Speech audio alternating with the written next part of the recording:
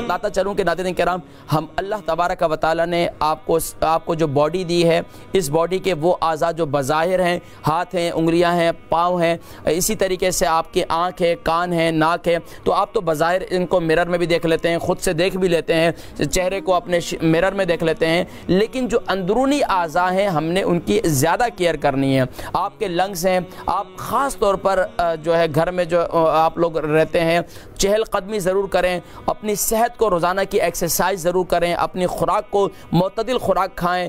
سب سے زیادہ جو ہے، میں ہمیشہ توجہ دلایا کرتا ہوں فاسٹ فوڈ سے جتنا ہو سکے پرہیز کریں۔ لیکن دیکھیں، مجبوری ہے۔ اب آپ کو، آپ یہ کہیں کہ میں کبھی نہیں کھاتا ہوں اور آپ یہ کہیں کہ میں کبھی نہیں کھاؤں گا اور میں کہوں کہ میں کبھی نہیں کھاتا ہوں، تو یہ یہ یہ تو ہو ہی نہیں سکتا۔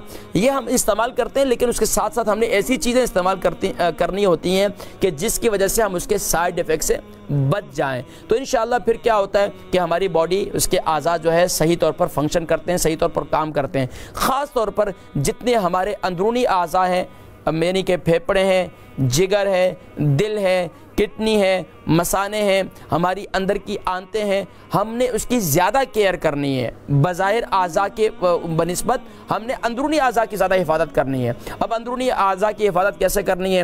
لنگس کی حفاظت کیسے کرنی ہے ہم نے؟ کہ ہم نے لمبی لمبی سانسیں لینی ہیں فریش ایئر زیادہ سے زیادہ لینی ہے اور باہر جا کر ہم نے وقت تھوڑا سا فریش ایئر اب یہاں کے گھروں کے اندر اکثر لوگ جو ہے، جو جو پھیپڑوں کی بیماری کے اندر ہیں، اس کی وجہ یہ ہے کہ وہ گھر کے اندر ونڈو نہیں کھولتے، اندر ہی اندر رہتے ہیں اور گھر سے باہر نہیں لکھتے، نکلتے فریش ایئر نہیں لیتے، باہر اپنے آپ کو تھکاتے نہیں ہیں۔ سب جو ہے وہ گاڑی کے اندر ادھر جا رہے ہیں، کبھی ادھر جا رہے ہیں۔ یعنی پیدل چلنے والا کام نہیں ہے۔